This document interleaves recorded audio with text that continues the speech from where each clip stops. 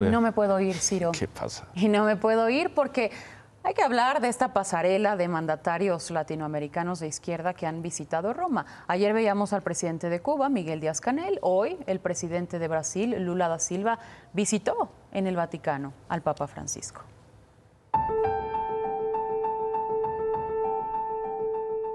Gusto verlo otra vez.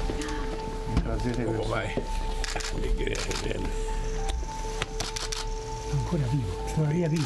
Bien. Hoy se lo firmé para usted. Estamos en tiempo de guerra y la paz es muy frágil. Yo le voy a regalar esto que hacemos nosotros aquí en nuestros talleres.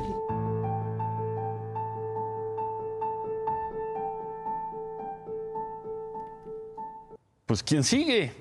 Al presidente López Obrador le queda pues un año y medio, como 15 meses. ¿Irá? La pregunta es, ¿será el siguiente? Veremos. Gracias, Claudia. Gracias. Buenas noches, Ciro.